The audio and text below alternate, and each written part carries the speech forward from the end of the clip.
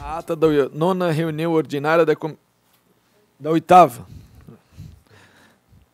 Da oit...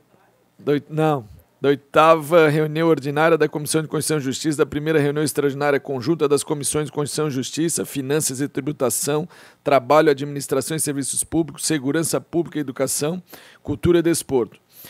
Já distribuída previamente aos senhores deputados e deputada membros dessa comissão. Não havendo quem queira discutir, coloque em votação. Favorável, permaneça como se encontra. Está aprovada a ata da oitava reunião ordinária da CCJ e da primeira reunião extraordinária conjunta das comissões horas citadas.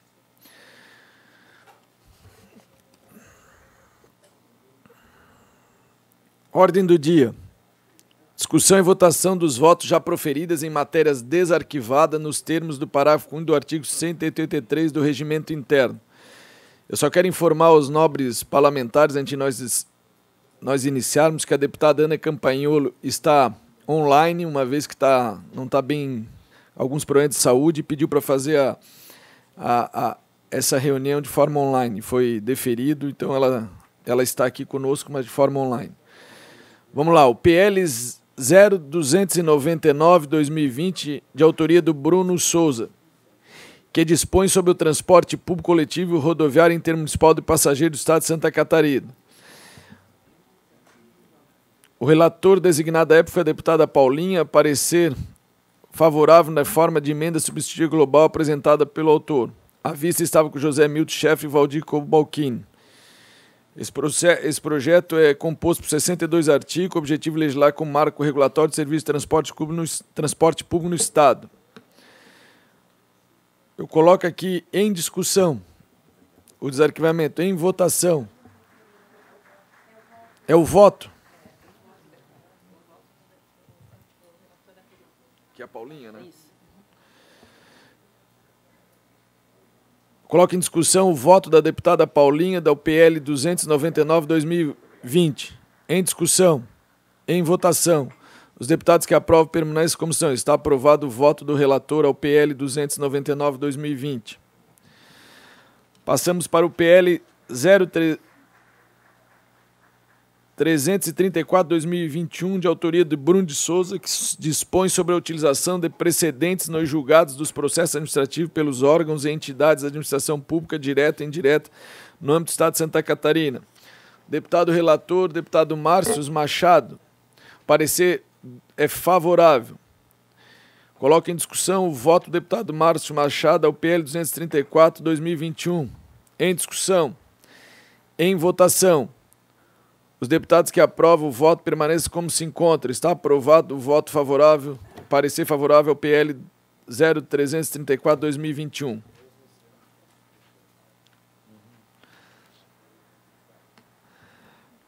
Passem em discussão ao PL 363 de 2021, de autoria do deputado Fabiano da Luz que institui a política de promoção da Agenda 2030 para o Desenvolvimento Sustentável no Estado de Santa Catarina. O relator, à época, a deputada Paulinha, parecer veio favorável. Coloca em discussão o voto parecer favorável. Senhor deputado, senhor presidente, uh, deputada Ana, eu gostaria de apresentar uma nova diligência para o novo governo, pois, no meu entendimento, essa pauta é é, ideológica e incompatível tanto com o resultado das últimas eleições quanto com as políticas do governador Jorginho. Acredito, né? Mas por isso preciso diligenciar antes de avançar com a pauta. Vistas concedidas, deputada Ana Campaiolo. Vamos prosseguir. PL 0475-2021, de autoria do deputado Gessé Lopes, que institui a cobrança de multa pelo porte e uso de entorpecentes em ambientes públicos no âmbito do Estado de Santa Catarina. A relatora foi a deputada Ana Capaiolo, favorável na forma de emenda substitutiva global apresentada pelo autor. Eu coloco em discussão. Em votação. Senhor presidente. Em discussão ainda. Eu só quero registrar meu voto contrário a esse projeto, justamente porque essa é uma matéria de competência exclusiva da União. Então é uma matéria totalmente inconstitucional para nós deliberarmos aqui. Eu também quero é, ir ao encontro do deputado Fabiano. Eu acredito que já existe é, as penas, as questões todas a nível federal. Então eu vou acompanhar o voto do deputado Fabiano. Em discussão, deputado Márcio. Obrigado, presidente. Eu vou votar a favor da relatoria, haja vista que nós podemos instituir multa administrativa, como foi da farra do boi, como foi da rinha de galo, rinha de cachorro, zoofilia. E, de fato, você está com a família no lugar onde o cidadão está fumando maconha e não ser punido, pelo menos uma multa para ele sentir no bolso, porque aquela maconha vai ser bem cara para ele. E o problema da maconha não é somente a maconha. Quando o cidadão chega na boca de fumo, não tem a maconha, e daí o, o traficante oferta para ele o crack, porque ele é muito mais barato. Ele, primeira bolada de crack, ele vira um walking dead, um zumbi. E fica incomodando a sociedade, não é produtivo. Realmente é uma matéria importante e o meu voto é a favor da relatoria. Em discussão. Em votação. Os deputados que aprovam permaneça como se encontra. Está aprovada a matéria com dois votos contrários, deputado Fabiano e deputado Pepe Colasso. Vamos prosseguir ao PL 0487 2021, de autoria do deputado Fabiano da Luz, que dispõe sobre a capacitação no ensino de história e cultura afro-brasileira e africana de professores da Rede Estadual de Educação. O relator designado da época foi o deputado Valdir Cobalcini. O parecer é favorável com emenda substitutiva global. Eu coloco em discussão. Em votação. Os deputados. Presidente, deputada Ana, gostaria de apresentar uma emenda ao projeto do deputado Fabiano para incluir outras culturas que também fazem parte, principalmente da colonização catarinense, cultura soriana, italiana. Gostaria de apresentar. Prometo para o deputado Fabiano para ele não ficar bravo comigo hoje, que eu devolvo na semana que vem. Vistas concedidas, deputada Ana, conforme solicitou.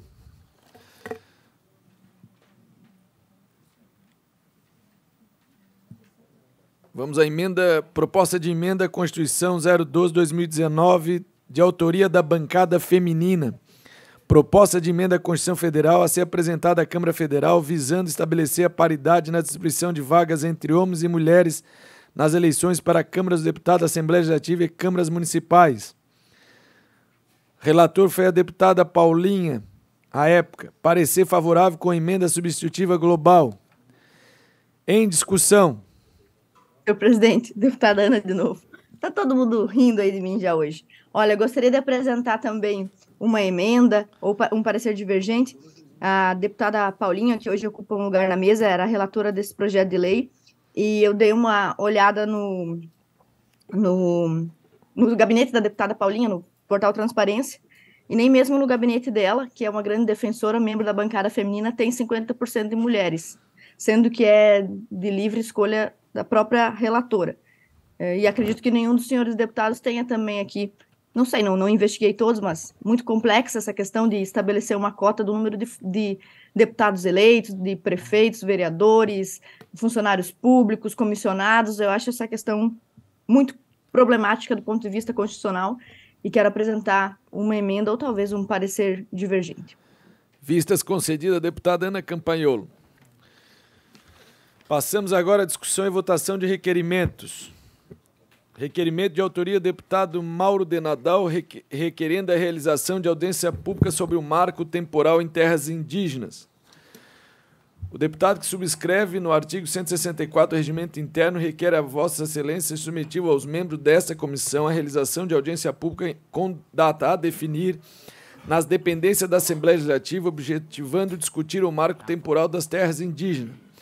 A presidente do Supremo Tribunal Federal, ministra Rosa Weber, anunciou para 7 de junho de 2023 a retomada do julgamento do recurso extraordinário com repercussão geral, que discute se a data da promulgação da Constituição Federal deve ser adotada como marco temporal para a definição da ocupação tradicional da terra por indígenas.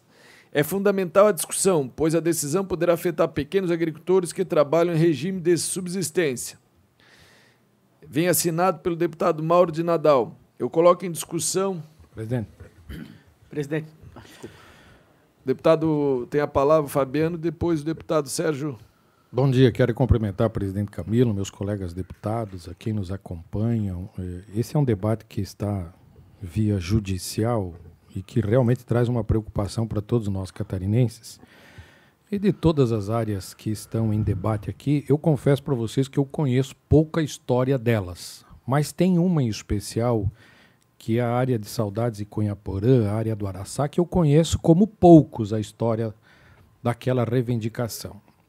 Porque na época, quando apareceram alguns índios, na década de 90, apareceram alguns índios num ônibus, desceram lá no Araçai, dizendo que aquelas áreas eram deles.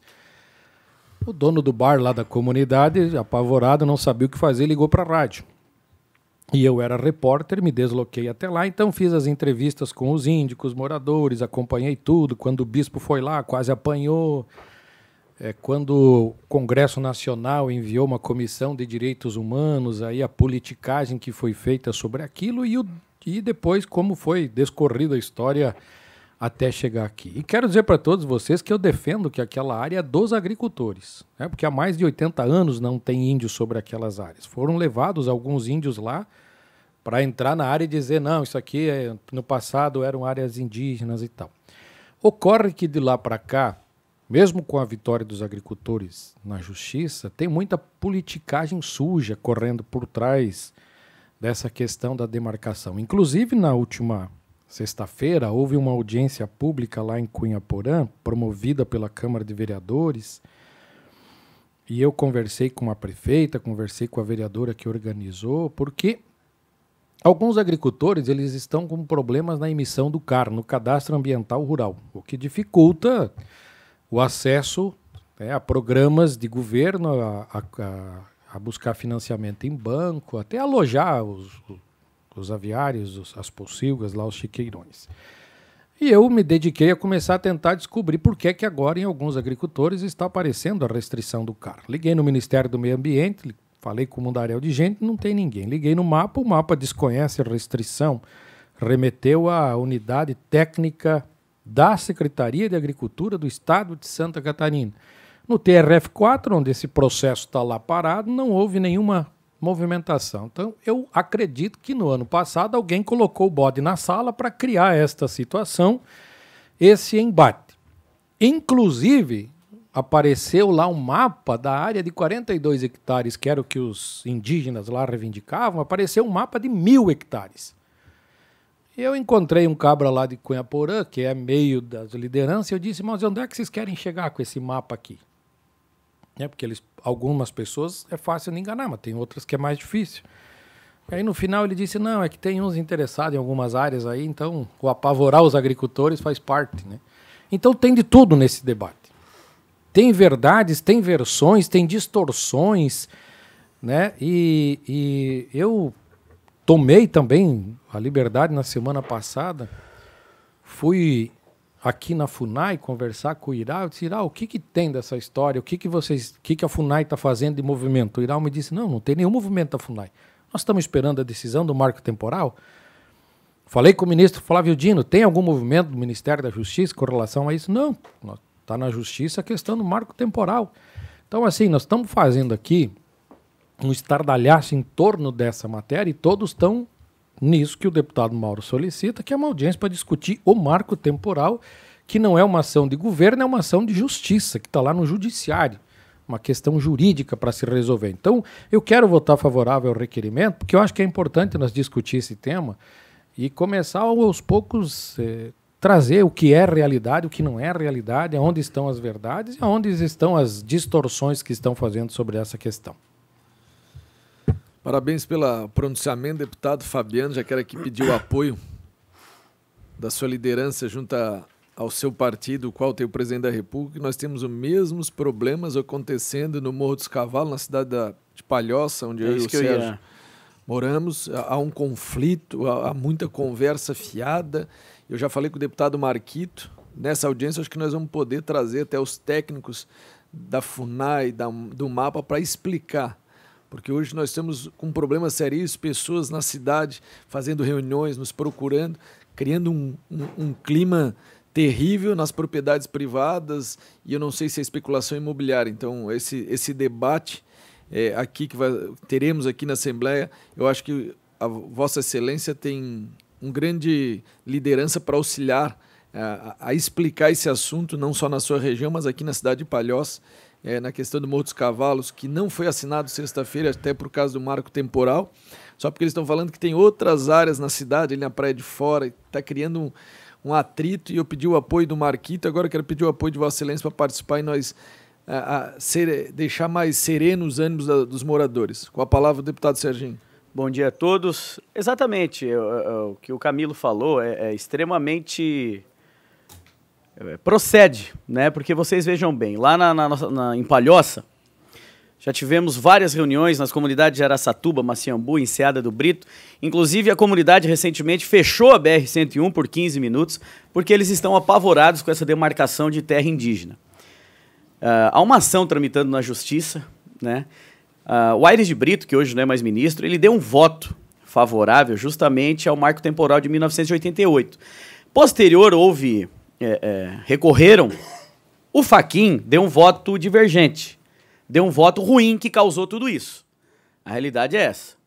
Então, assim, por cima, eu conversava com o Procurador-Geral do Estado, ele me dizia que caso isso passe, é, cerca de 30% do território nacional vai ser de terra indígena por cima. Então, com todo respeito aos indígenas, para que, que eles querem tanta terra? Já não há terra que chegue aqui no Morro dos Cavalos para eles? Essas comunidades que lá estão, eu conversei com uma senhora que mora há mais de 80 anos ali na comunidade de Araçatuba, do ladinho ali do Morro dos Cavalos. E aí, relato de moradores, de famílias, carros da FUNAI, três, quatro carros da FUNAI indo lá, incomodar, perturbar a vida dessas famílias colocando medo nesses senhores, nessas senhoras. Eu acho que passou da hora de a gente deixar essas famílias em paz. Deixar em paz. Porque o índio quer tudo, com todo. Volto a dizer, com todo respeito.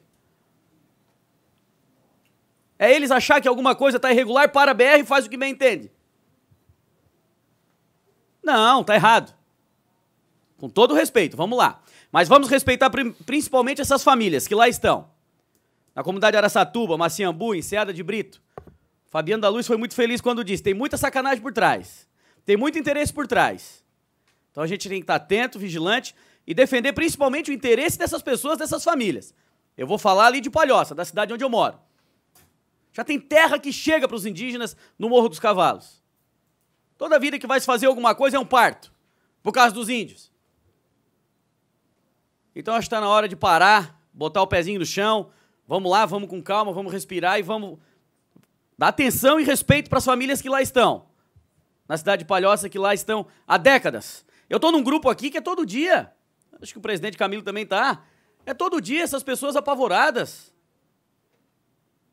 Então, esse, essa audiência pública, esse bate-papo vai ser muito esclarecedor e me preocupa também, porque evidentemente que nós teremos aqui, nessa audiência pública, indígenas e as pessoas e as famílias contrárias. Então me preocupa a questão de segurança também, enfim. Mas vamos fazer, a gente está aqui para isso para representar essas pessoas, essas famílias que lá estão. Continua em discussão a matéria. Deputado Napoleão Bernardes. Caro presidente, queridos colegas deputados, deputada Ana, que nos acompanha de modo online, a quem nos acompanha aqui na sala de comissões. Muito oportuno esse requerimento de iniciativa do presidente da Casa, deputado Mauro de Nadal, e eu me associo aqui às palavras do deputado Fabiano, o seu relato, inclusive o seu testemunho, e da mesma forma o deputado Sérgio Guimarães, também o seu relato, também o seu testemunho, ambos que cada qual nas suas respectivas regiões vivenciam essas realidades, como também externado aqui pelo nosso presidente, o deputado Camilo. Esse é um tema que tramita no judiciário, mas o judiciário tem que sim ouvir a sociedade. Deputado Camilo, nosso presidente, há um decreto-lei bastante antigo, mas ainda em vigor. O decreto-lei 4.657, de 42. Era chamado de Lei de Introdução ao Código Civil, agora rebatizado de um modo muito mais adequado, a Lei de Introdução às Normas do Direito. E o que, que a Lei de Introdução às Normas do Direito diz? Que o juiz, ao decidir, isso está no artigo 5 dessa Lei de Introdução às Normas do Direito, o juiz, ao decidir, ele tem que atender aos fins sociais daquela determinada demanda e atender prioritariamente ao bem comum. Portanto, o posicionamento da Assembleia Legislativa em promover essa audiência pública é muito oportuno e totalmente salutar para que o judiciário possa entender os dois lados da moeda. O símbolo da justiça não é a balança por acaso, é para que haja pesos e medidas sopesados, de modo igual, e que ambos os lados possam ser ouvidos. E é importante Santa Catarina se posicionar firme nesse contexto e nesse sentido, porque os dados são muito preocupantes para o estado de Santa Catarina. Nós temos no estado de Santa Catarina 10 áreas listadas e que podem ser gravemente impactadas por essa decisão. Nós estamos falando de 500 famílias de agricultores catarinenses de pequenas propriedades, pessoas que têm a sua pequena propriedade para sua subsistência. Estão ali plantando milho, arroz, soja, cuidando do suíno, das aves, produzindo leite. Pequenas propriedades, pequeníssimas propriedades. Em Santa Catarina, o impacto pode ser de 52 mil hectares.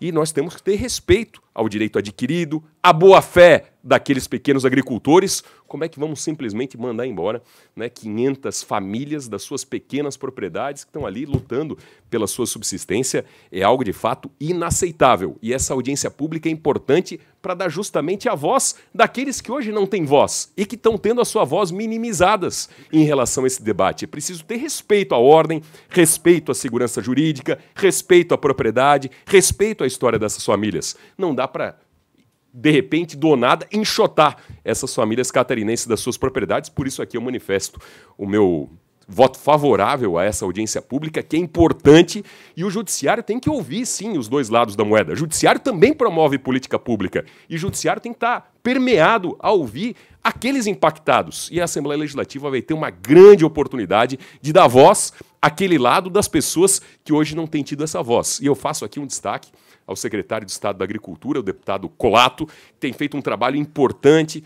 um trabalho digno, um trabalho de respeito e um trabalho de defender aquilo que deve ser defendido. A pequena propriedade catarinense, das famílias catarinenses, aquelas pessoas que historicamente estão de boa fé nas suas propriedades, produzindo em favor dos catarinenses. Deputado Napoleão, me permita, e aí você foi extremamente feliz na sua fala, porque recentemente o secretário Colato pediu ajuda para os deputados dessa casa, é, é, prevendo justamente isso, esse conflito dos agricultores com esses, com esses índios. Imagina o, o camarada a vida inteira ali, que é a sua subsistência, que vive daquilo, ter que deixar a sua propriedade. Os senhores acham que eles vão deixar a propriedade? Ah, vamos ser, vamos ser realistas aqui. Não vão sair. E aí o que, que vai acontecer, deputado Fabiano? Conflito, desgraça, morte, violência. O camarada tá ali há 30, 40 anos, simplesmente agora demarca. Chega os índios, é meu. Ah, para com isso. Para com isso, tá errado. Continua em discussão, em aprovação, eh, em discussão, em votação. Os deputados que aprovam o requerimento do deputado Mauro de Nadal por uma audiência pública tratar a questão das demarca... do marco temporal e da demarcação de terras indígenas. Está aprovado por unanimidade. Agora vamos em a palavra a discussão e votação das matérias. Passo a palavra ao deputado Volney Weber. Muito bem, bom dia, senhor presidente, bom dia, companheiros, colegas deputados, deputada Ana, também se faz presente de forma virtual. Temos aqui o projeto de lei de número 58 de 2023, ele que é de autoria do deputado Lucas Neves. Deputado esse que trata de alteração, que altera o artigo 10 da lei de número 1336 de 25 de novembro de 2004, que dispõe sobre o imposto sobre transmissão, causa mortes e doação de quaisquer bens ou direitos, o ITCMD, e da outras providências. Em síntese, modifica o valor máximo do imóvel que é de, é de 20 mil reais nos dias de hoje, para 135 mil reais, bem como indica a aplicação de índice de índice que mantenha a atualização anual do valor do imóvel. É, este projeto, num primeiro momento, eu recorro ao nosso regimento interno né, da nossa casa para buscar o diligenciamento é, primeiramente, né, então peço aqui através de requerimento o diligenciamento do projeto de lei número 58 de 2023 para a Casa Civil, Secretaria de Estado da Fazenda e também a Procuradoria Geral do Estado, com o propósito de instruir o processo legislativo com manifestações acerca desta matéria. Então, peço o requerimento aqui de diligência. PL 058-2023, de autoria do deputado Lucas Neves, sob a relatoria do nobre deputado Volney Weber. Pedido de diligência conforme relatou anteriormente. Coloco em discussão, em votação. Deputados que aprovem permaneçam como se encontram. Está aprovado o pedido de diligência. Dando continuidade, senhor, senhor presidente, temos também o PL do número 63-2023. Esse projeto ele é de iniciativa da deputada Luciane Carminati, que pretende alterar o artigo 4 da Lei de número 12.918, de 23 de janeiro de 2004, que, abre aspas, cria o certificado de responsabilidade social de Santa Catarina para as empresas estabelecidas em território catarinense, fecha aspas, com o fim de incluir como um dos critérios a serem considerados para a certificação e entrega do troféu Responsabilidade Social Destaque Santa Catarina a igualdade salarial entre homens e mulheres com o mesmo cargo, atribuições e tempo de serviço, cujos graus de formação sejam iguais ou equivalentes. É do voto. Compete a esta comissão pronunciar-se acerca da constitucionalidade, legalidade, juridicidade, regimentalidade e técnica legislativa de projetos ou emendas. Pois bem, inicialmente destaco que o artigo 7 é, parágrafo 30 da inciso, artigo 7 inciso 30 da Constituição da República de 1988 é, proíbe a diferença de salários de exercício de funções. Desculpa. De exercício de funções e de critério de admissão por motivo de sexo, idade, cor ou estado civil. Ainda a consolidação das leis trabalhistas, a CLT, estabelece em seu artigo 461 que homens e mulheres que desempenham os mesmos trabalhos e de mesmo valor deva, devem receber iguais salários. Com relação à constitucionalidade, sob o aspecto formal, observo que a proposição e análise vem estabelecida por meio de projeto de lei ordinária, vez que não reservada à lei complementar nos artigos nos termos do artigo 57 da Constituição Estadual. Além disso, cabe destacar que o teor da matéria em apreço vai ao encontro dos preceitos da Resolução 74-142, de 18 de dezembro de 2019, promulgada, promulgada na Assembleia Geral das Nações Unidas, a qual estabeleceu o dia 18 de setembro como o Dia Internacional da Igualdade Salarial, com intuito de promover a discussão sobre a desigualdade salarial e fomentar ações visando alcançar a igualdade de salário entre homens e mulheres.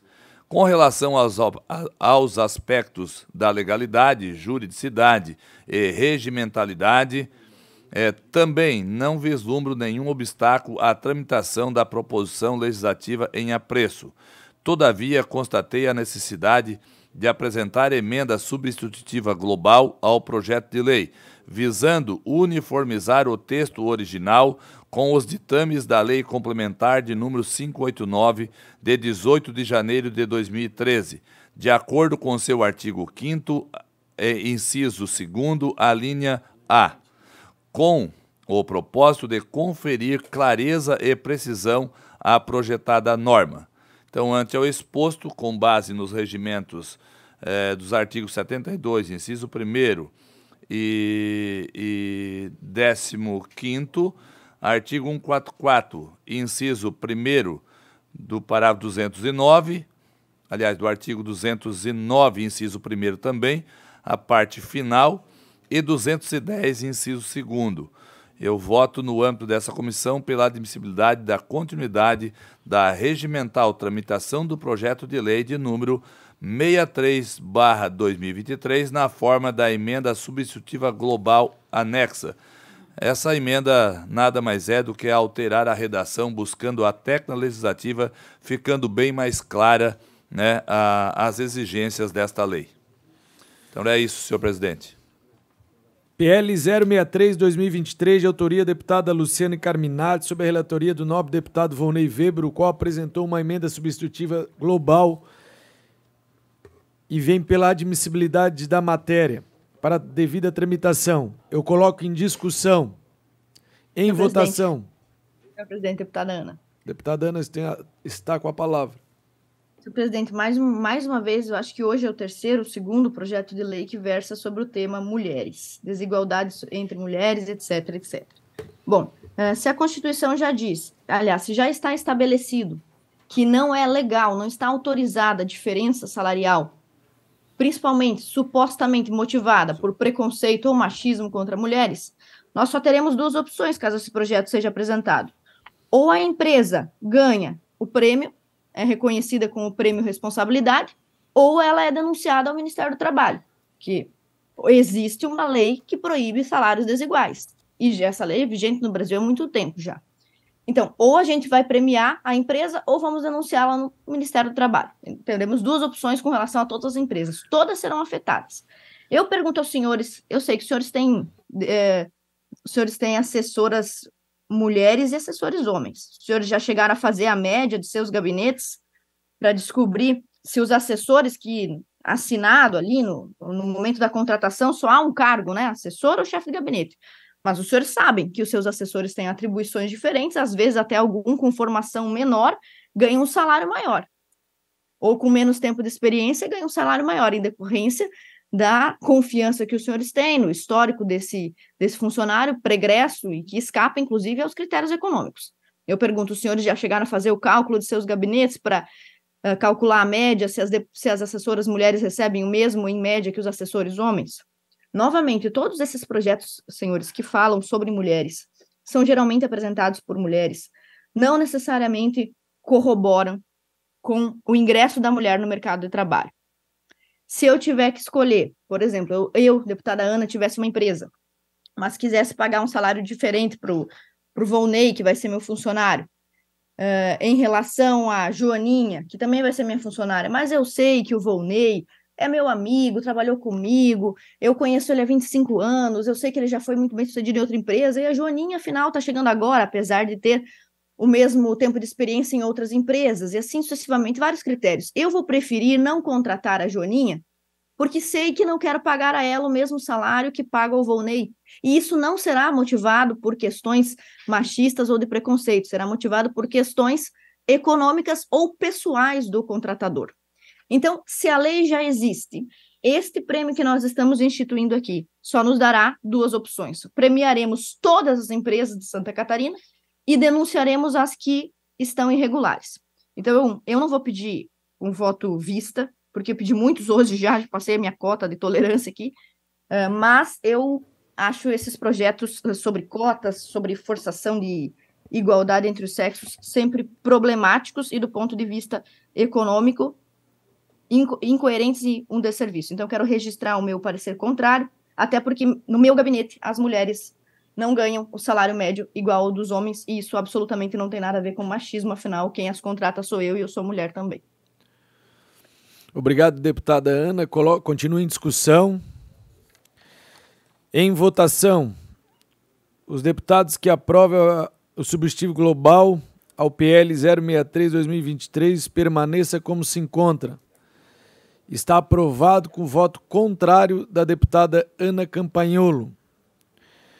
Obrigado, deputado Volney. Agora eu passo a palavra ao deputado Fabiano da Luz para relatar o PL 054. Bom, senhor presidente, deputados, deputada Ana e quem nos acompanha, eu tenho aqui o projeto 54-2023, que altera a lei 18634 de 2023, que institui a política estadual de desenvolvimento e expansão da apicultura e meliponicultura, Polimel, e o Programa Estadual de Incentivo à Apicultura e Meliponicultura, PROMEL, no estado de Santa Catarina, e adota as outras providências para o fim de prever em projetos de licenciamento ambiental a necessidade de mão de obra especializada na remoção de florestas nativas para o manejo de abelhas nativas e tornar obrigatória a inserção de colônias com meliponíneos nas áreas florestais a serem restauradas. Autoria do deputado Padre Pedro Baldiceira.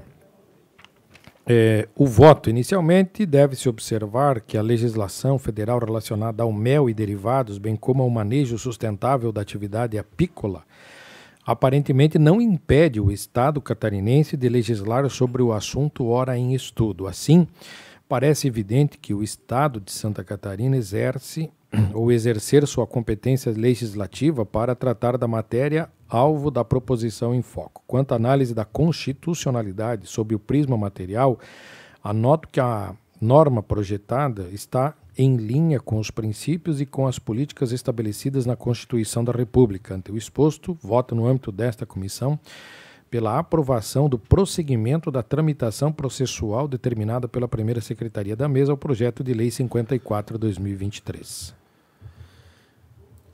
PL 054-2023, de autoria do deputado Padre Pedro Baldissera, sob a relatoria do nobre deputado Fabiano da Luz, o qual apresenta o voto pela aprovação da matéria. Em discussão. Em gabinete. Deputada Ana, também apresento, prometo que é, devolvo com parecer divergente para ser apreciado na semana que vem, presidente. Deputado Tiago, também presidente, é pedir vista? Não, só fazer um comentário, cumprimentar a todos, presidente os colegas, a deputada Ana. Eu estive participando no sábado né, da, do fórum que o Padre Pedro fez lá em Araranguá, no CETRAR, sobre a meliponicultura, e um projeto interessante, eu acho que eh, temos que discutir bastante sobre isso, mas parabenizei ao Padre Pedro, porque eu acho que é uma nova cultura que está chegando, e eles querem ter a aprovação da, dos órgãos competentes para poder comercializar também é, a questão do mel da abelha sem ferrão. Então, é um projeto muito, muito interessante, né? E concordo com, com o deputado Fabiano, também vou aprovar o projeto.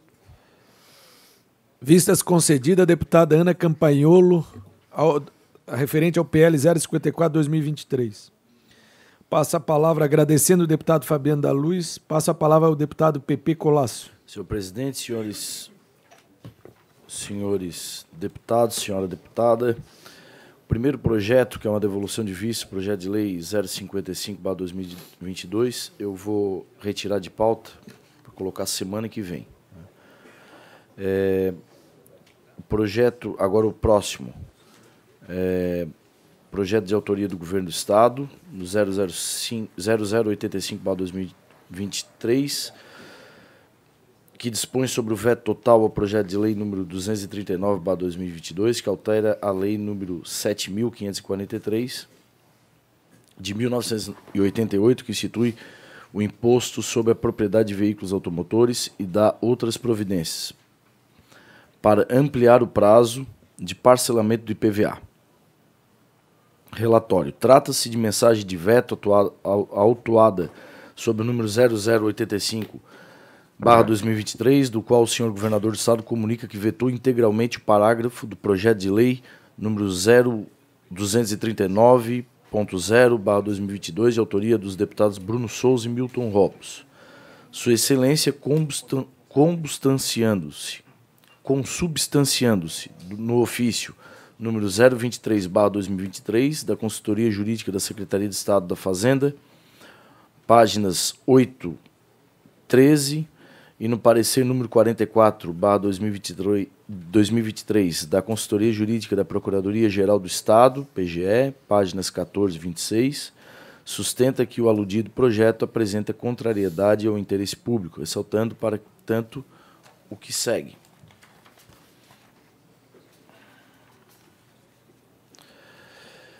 Entre aspas. E a PGE, por sua vez, também ressaltou que o projeto de lei em questão apresenta contrariedade ao interesse público, uma vez que o proprietário do veículo automotor que aderisse a determinado número de parcelas para pagamento do imposto sobre a propriedade de veículos automotores, PVA, ficaria impedido de obter o comprovante de licenciamento do veículo até o integral ad, adimplemento destas e, por conseguinte, impedido de circular com seu veículo, por força do, do disposto no parágrafo 2 do artigo 131 e no artigo 133 da Lei Federal número 9503 de 23 de setembro de 1997 do Código de Trânsito Brasileiro.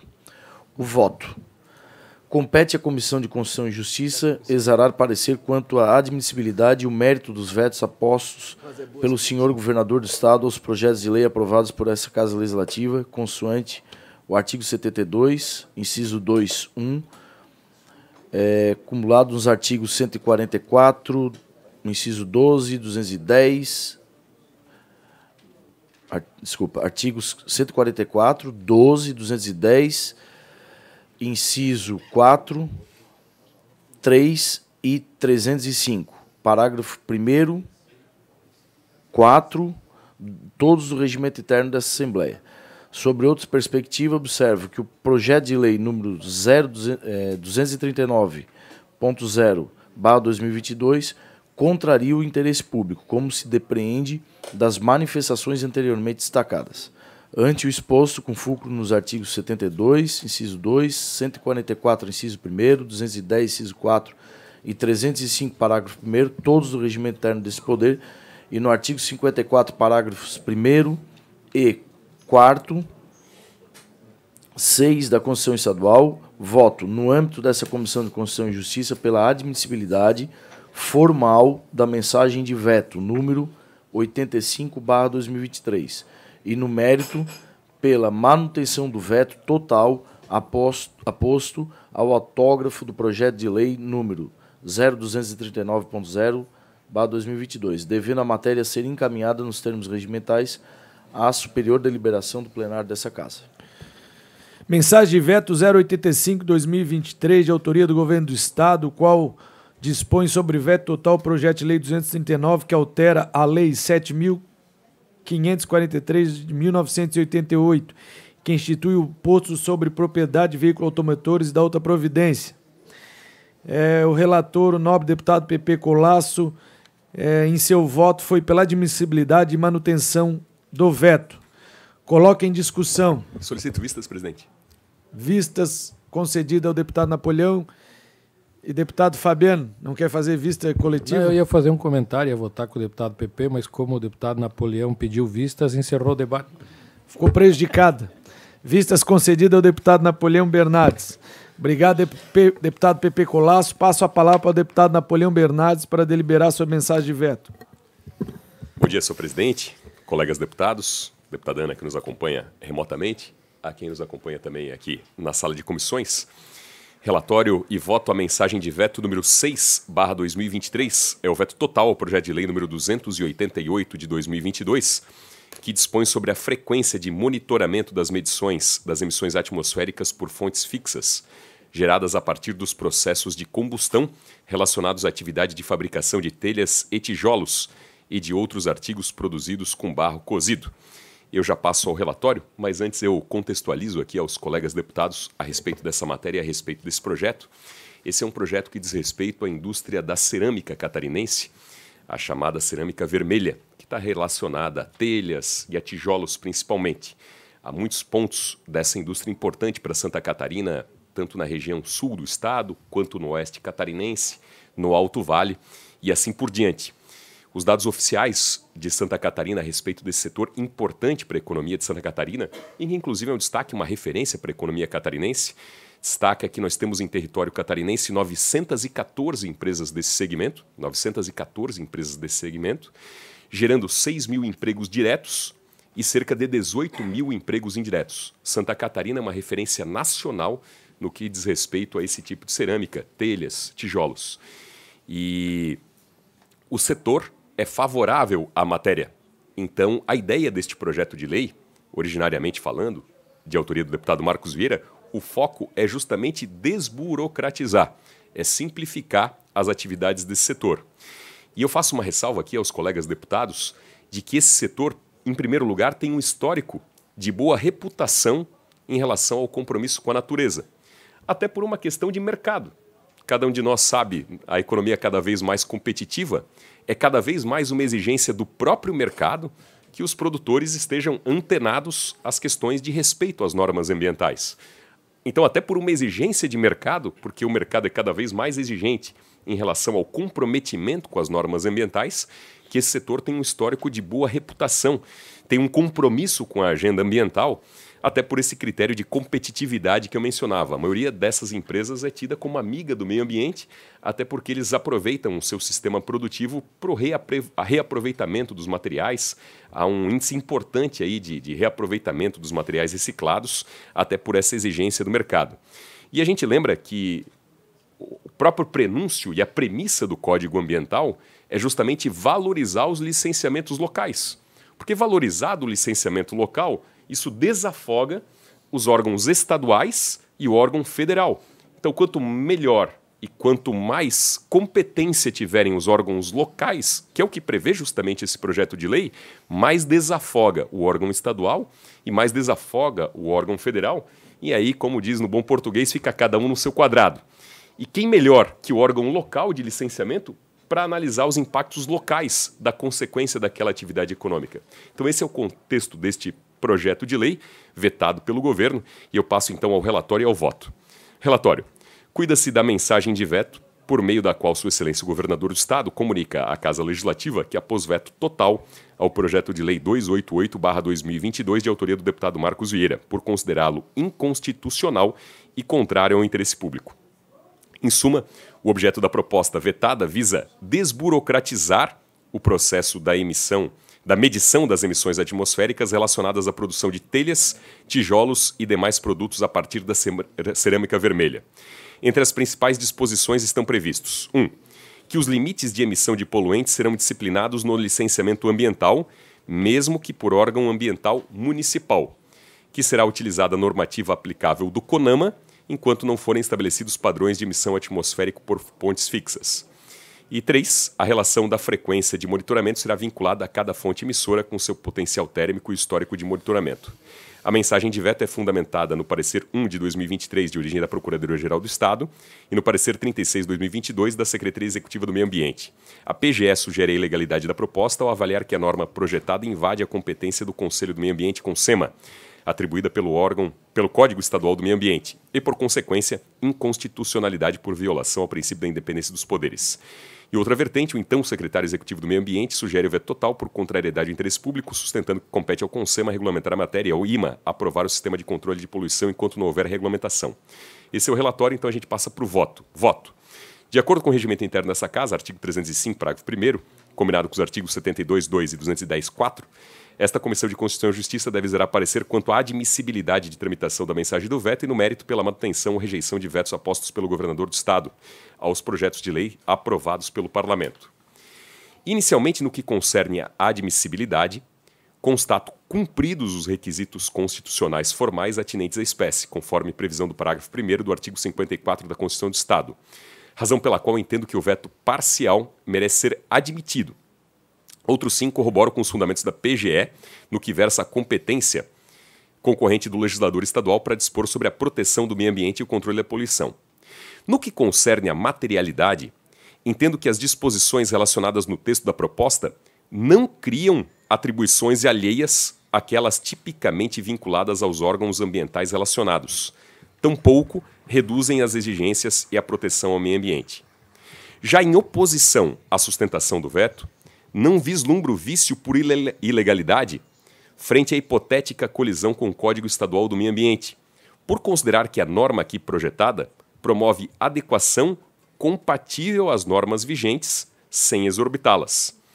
Em outra vertente, no que consiste ao mérito, entendo pertinente mencionar que a norma projetada vai exatamente ao encontro das políticas públicas de desburocratização do Estado, Além disso, também importa mencionar que a indústria cerâmica vermelha é historicamente consolidada em Santa Catarina e desempenha um importante papel econômico e social, especialmente no sinônimo da construção civil. Além disso, vem desempenhando importante papel ambiental no reaproveitamento de material reciclável. Por fim, como já mencionei, cabe ressaltar que os dados oficiais dão por conta que Santa Catarina possui 914 empresas desse segmento, cerâmica vermelha, com 6 mil empregos diretos e mais de 18 mil empregos indiretos. Ante o exposto, em atenção aos artigos 72, 54 e 305 do Regimento Interno da Assembleia Legislativa, voto pela admissibilidade da mensagem de veto e, no mérito, pela rejeição do veto a este projeto de lei. Então, colegas deputados, né, contextualizando e finalizando, só reafirmar: esse projeto ele originalmente vem ao encontro do propósito que o próprio governo atual tem sinalizado.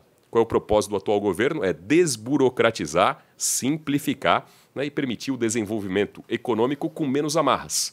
Nós temos em Santa Catarina um modelo em que muitos municípios têm os seus órgãos municipais de meio ambiente, com capacitação técnica, com gente preparada, e é óbvio que o órgão municipal ambiental está preocupado com o seu interesse local. É quem mais vai ter interesse em poder atender bem às demandas do seu município, até no sentido de salvaguardar, de proteger o seu município. Então, naqueles municípios. Derrubar o veto. Justamente por esse contexto. Para proteger a indústria, no sentido de permitir essa simplificação, essa desburocratização e dar poder justamente para o poder local.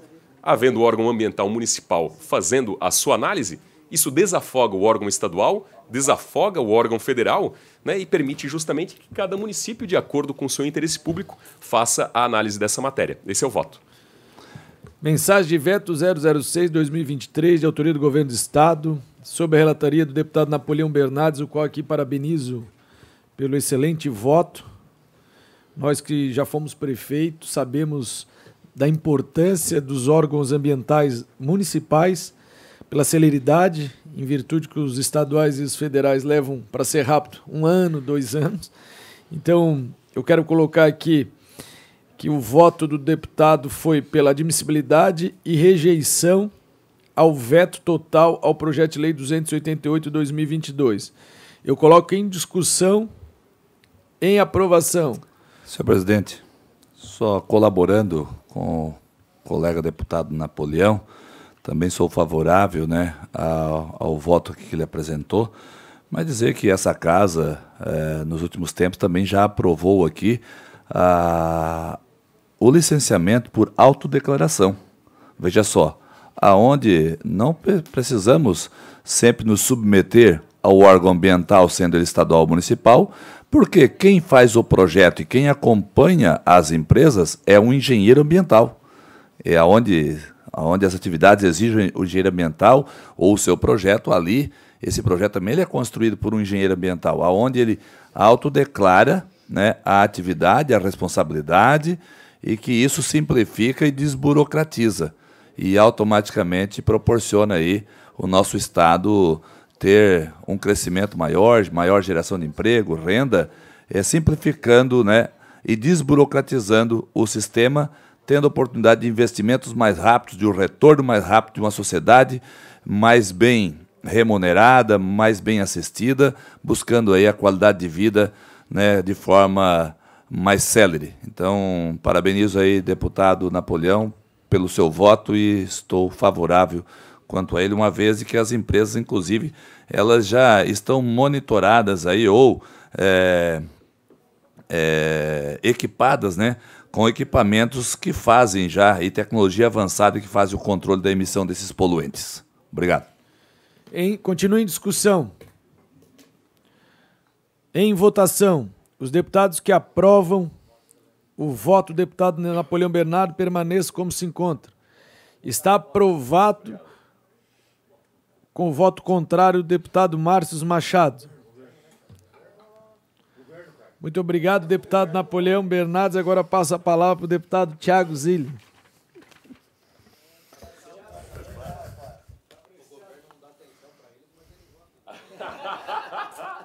Essa foi a melhor do dia.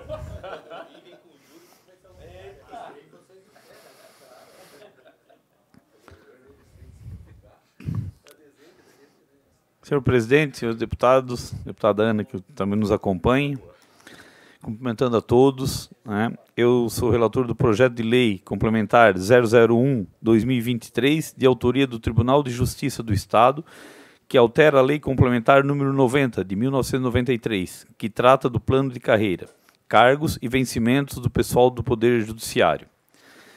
É, só contextualizando, eu fiz uma visita ao tribunal porque a princípio, a gente é, fica com a preocupação de criar é, mais empregos ou mais é, oneração para o Estado e, e, é uma preocupação muito grande.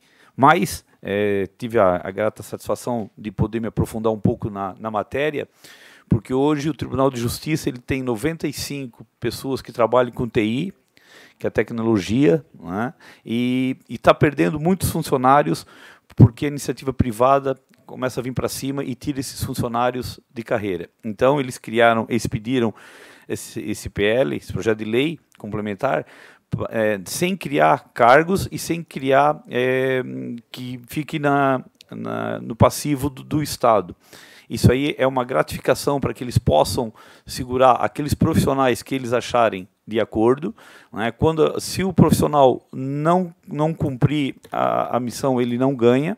É de, é de, iniciativa e escolha do próprio tribunal e também é, não fica vinculado na aposentadoria dele. Isso aí é, é para quando ele estiver exercendo a sua, a sua profissão. Tanto que no período da pandemia, né, foi é, feito um regulamento de 70-30. 70%, podia continuar em casa e 30% tinha que fazer presencial. E o único que a Procuradoria é, autorizou que ficasse em casa é, são os profissionais de TI pelo trabalho que eles fazem. Tá? Então, já vou direto ao relatório. Na forma regimental, fui designado a relatar o projeto de lei complementar em epígrafe de iniciativa do Tribunal de Justiça do Estado de Santa Catarina. Na justificativa, restou destacado que o, que o presente projeto de lei complementar visa a criação de gratificação por atividade em tecnologia e informação e comunicação, destinada exclusivamente aos servidores ocupando, ocupantes do cargo de analista de sistema do quadro pessoal de provimento efetivo da Secretaria do Tribunal de Justiça, lotados na Diretoria de Tecnologia de Informação. A instituição de gratificação tem por objetivo a retenção dos talentos na instituição a partir da valorização das atividades praticadas pelos analistas de sistema, diante da forte investida do setor privado. O voto. A esta comissão de Constituição e Justiça, nesta fase processual, incumbe analisar a presente matéria conforme o que preceitua o artigo 144, inciso 1 do regimento interno dessa Casa, em especial em relação aos aspectos constitucionalidade, legalidade, judicidade, regimentabilidade e de técnica legislativa.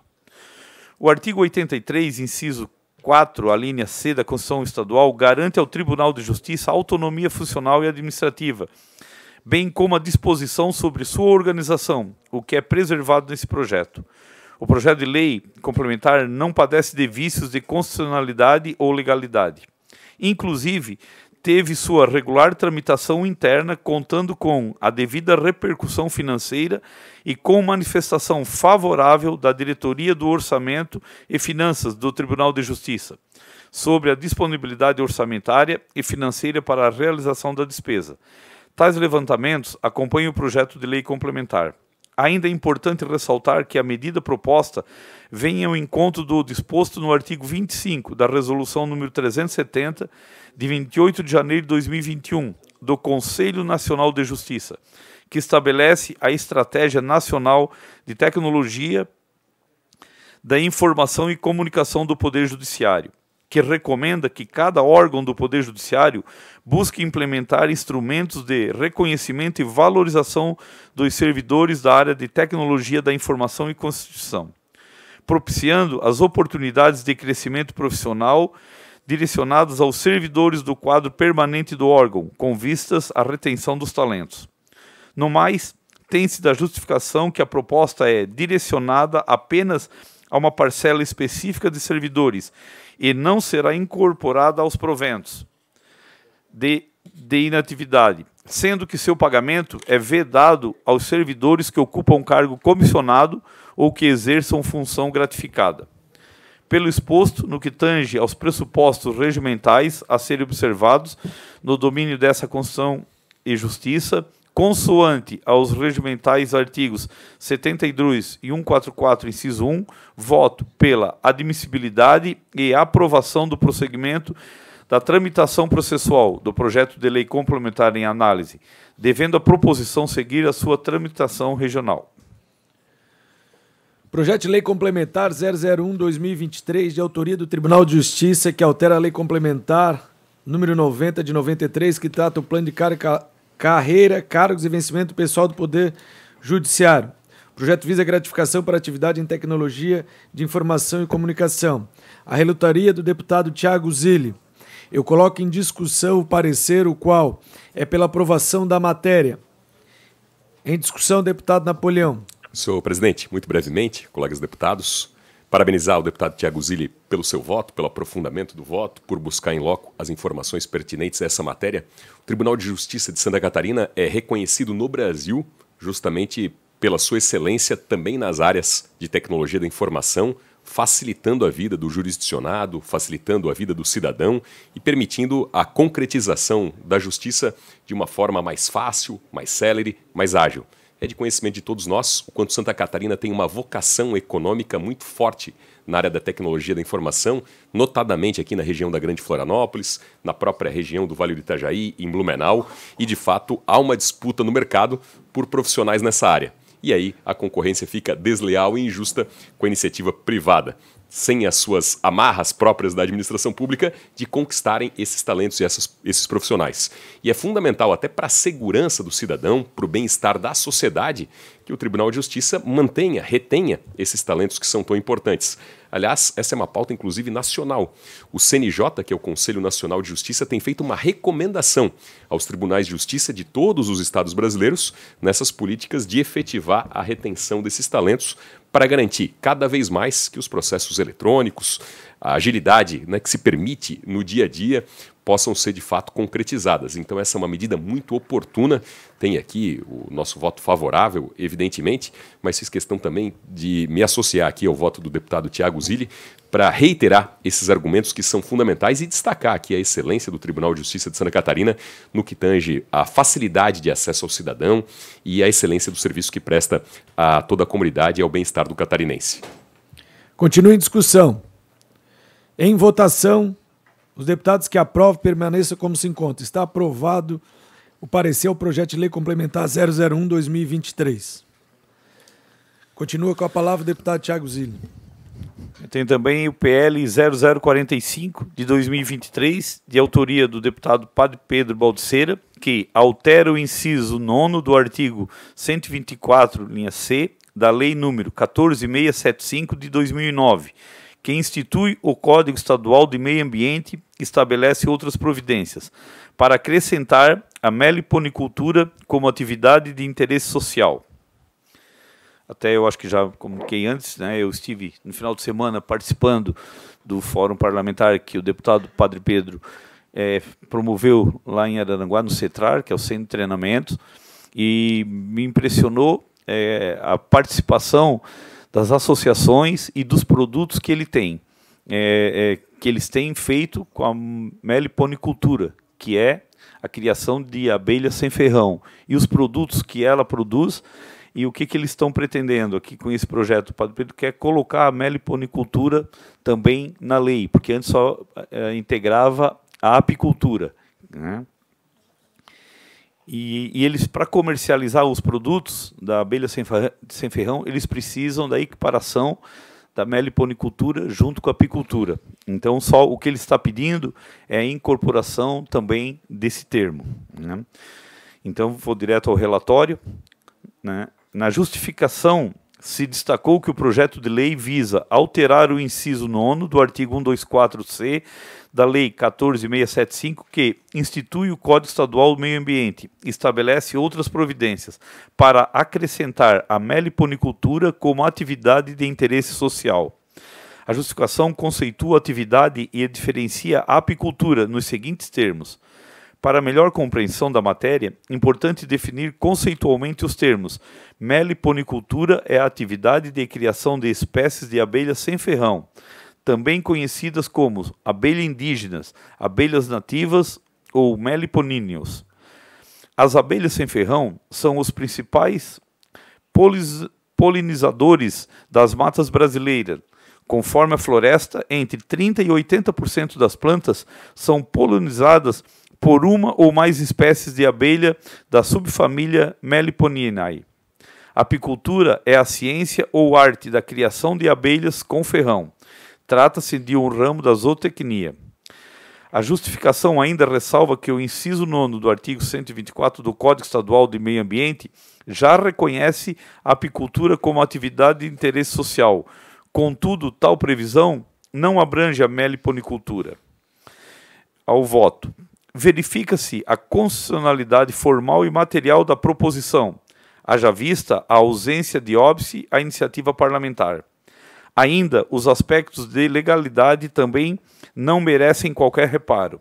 Em síntese, a proposição vi visa a equiparação da meliponicultura à apicultura, enquanto atividade de interesse social. A inclusão da apicultura no rol das atividades de interesse social no âmbito do Código Estadual do Meio Ambiente deu-se em 2017, através da Lei Estadual 17.075, de iniciativa parlamentar, devidamente aprovada nesta Casa Legislativa. Os objetivos da meliponicultura estão na produção e comercialização das colmeias, ou parte delas, mel, pólen, resinas, própolis e outros substratos, além das abelhas serem importantes agentes de polinização e conservação da biodiversidade. Assim, o reconhecimento da meliponicultura enquanto atividade de interesse social viabilizará o maior amparo de políticas públicas, fomentando a atividade e, consequentemente, contribuindo à conservação do meio ambiente. Pelo exposto, no que tange aos pressupostos regimentais a serem observados no domínio dessa Comissão de Constituição e Justiça, consoante ao regimento dos artigos 72 e 144, inciso 1, voto pela admissibilidade e aprovação do projeto de lei e análise, devendo a proposição seguir sua tramitação regimental. Projeto de Lei 045-2023, de autoria do deputado Padre Pedro Baldissera, que altera o inciso 9 do artigo 120, 124C do Código Estadual do Meio Ambiente, que acrescenta a atividade de meliponicultura é, junto de interesse social. Relatoria do deputado Tiago Zílio, qual foi pela aprovação da matéria. Em discussão, Deputado Márcios Machado. Presidente, só quero cumprimentar o nobre deputado pela relatoria. Chamados meles, é algo extraordinário. Essa abelha sem ferrão é, é a abelha brasileira, a abelha com ferrão, o, o velho mundo que trouxe para cá. Então essa abelha é uma pequenininha, ela faz uma polimerização né, maior, com muitas, muitas variedades, e aí ela traz um valor agregado muito grande, chamados meles eu recebi, tive a honra de receber no meu gabinete um presente de Bom Retiro, deputado Camilo, que a Vossa Senhoria também conhece bastante lá, né? Nossa região, né? O que acontece? Eu recebi uma caixinha dos Meles. Rapaz, é extraordinário sabor, diferenciado. Já passei para a mãe, né? É, já foi para a mãe. Enfim, então parabéns, é muito importante. Quanto mais a gente agregar valor nessa nossa cultura, né, de você extrair da natureza esse e é uma medicina. Esse mel é uma medicina e tem curas já, trabalhos com curas. Eu sou bem é, entusiasta desse setor, então parabéns e meu voto de louvor. Deputado, só para curiosidade, é, o, é o, aquele mel de chão é o mesmo? Paz, pode ser que seja, né? Porque são várias, né? Não, vale na Serra tem muito vários. aquele mel do chão que eles falam, né? pequenininho. É esse aí, também. E só para informação para vocês, amanhã, às 17 horas, o Padre Pedro vai lançar a frente parlamentar aqui, no plenarinho, sobre a meliponicultura. Continua em discussão. Em votação, os deputados que aprovam o parecer do deputado Tiago Zilli permaneçam como se encontra. Está aprovado o parecer ao PL 045-2023. É.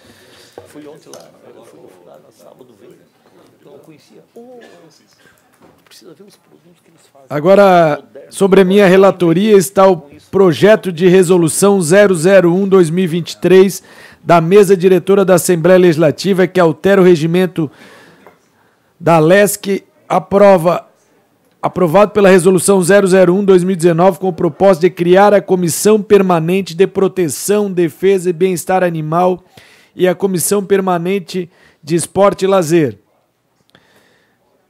Eu passarei o Parecer. Trata-se de um projeto de resolução que pretende alterar o regimento desta casa com o propósito de criar No âmbito da Assembleia Legislativa, a Comissão Permanente de Defesa e Bem-Estar Animal e Comissão Permanente de Esporte e Lazer. Esta última desmembrando da Comissão Permanente de Educação, Cultura e Desporto as temáticas atinentes ao esporte, somando-se as relacionadas ao lazer.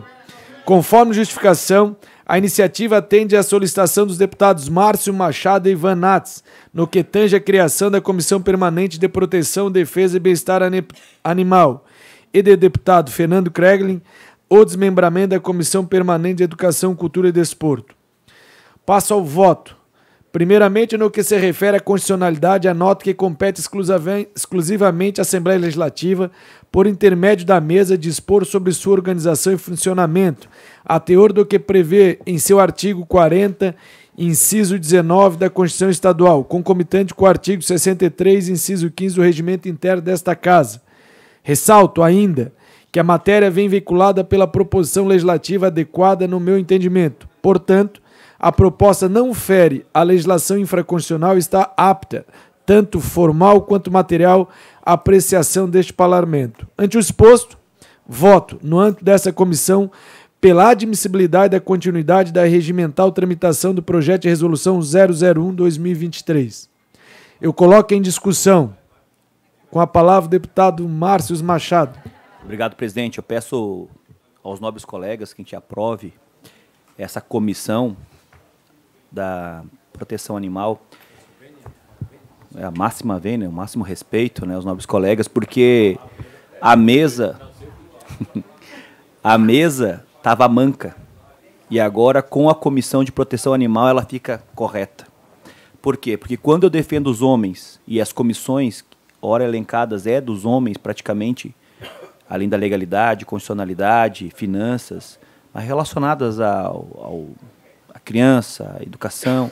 E quando a gente coloca também os animais, a gente deixa um ser integral. A, a Assembleia torna exemplo e é um marco aqui para a Assembleia. Eu quero te agradecer, presidente Camilo, pela agilidade, pelo comprometimento, para que a gente possa realmente é, lançar essa comissão de fato e de, direito e a gente poder fazer agora no segundo semestre o encontro, não um encontro estadual, mas o encontro das protetoras e ativistas do estado de Santa Catarina, para que a gente possa escutar da base as vozes roucas, as vozes, as vozes com, com, com às vezes com uma camiseta com pelo, né? E a Cidinha aqui me ensinou que os pelos são rastros de amor. Então tem os rastros de amor da Alanis aqui comigo aqui também. E o que acontece? A gente precisa escutar elas. Como que a gente pode ajudar? Como que a gente pode agregar valor para essas meninas que fazem um trabalho voluntário e que muitas vezes estão infartando? Porque elas não conseguem ver um animalzinho olhando para ela e pedindo comida e ela não ter condições de, de pagar aquela ração. Como é que o Estado pode fazer isso? Como é que a gente pode ampliar as castrações? Sendo que o Estado nunca aplicou recursos em castrações. Foi a primeira vez comigo, como deputado, através das emendas impositivas. E foi um, um bandeirante, foi abrindo a picada, porque foi para saúde, não era para saúde, foi para agricultura e graças a Deus agora está aberta essa picada para todos que possam colocar recursos também para castrações, porque é importante. Só para concluir, eu sei que nós já estamos alongados com a nossa comissão. Na Serra Catarinense nós castramos 3 mil animais. Primeiro ciclo, se forem todas fêmeas, tiramos das ruas 24 mil animais que estavam sofrendo, maus tratos, abusados, como aconteceu em Ponte Alta, que o rapaz foi preso por zoofilia. Então isso é muito, muito grave o que está acontecendo. Então nós precisamos ter esse olhar e colocar na, no palco da vida também essa temática aqui da Assembleia. Obrigado. Parabéns pelas palavras, deputado Márcio Machado. Continue em discussão ao projeto de resolução 001-2023. Em votação. Os deputados que aprovam o projeto de resolução permaneçam como se encontra. Está aprovado nesta Comissão de Constituição e Justiça. Por fim, ofício 0339-2020, de autoria da entidade social, que solicita alteração da lei que declara de utilidade pública do Hospital e Maternidade Dona Lisete de Taió Trata-se de ofício por meio do qual o Hospital e Maternidade Dona Lisete, no município de Taió, encaminha documentação para alteração da lei que ele declarou de utilidade pública estadual, em razão da mudança de sua denominação para Associação Rede de Beneficência Cristã. Requerida diligência aprovada por unanimidade na reunião de 11 de agosto de 2020. Foi solicitado que a entidade sanasse as pendências. Entretanto, esta cumpriu parcialmente a primeira Diligência. Desta forma, estou solicitando nova diligência à entidade para que supra a falta da documentação, em, em atenção às exigências do artigo 5 da Lei 18.269 de 2021. Então, eu coloco em discussão o pedido de diligência ofício 0339 de 2020.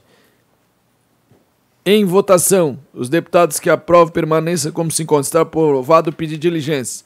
Não havendo mais Valeu, até depois. Encerra a, presente reunião, marcando próxima hora e dia regimental. Está encerrados os trabalhos. Agradeço aqui os nobres deputados, os assessores e as pessoas que nos prestigiaram nessa manhã de terça-feira. Um forte abraço a todos.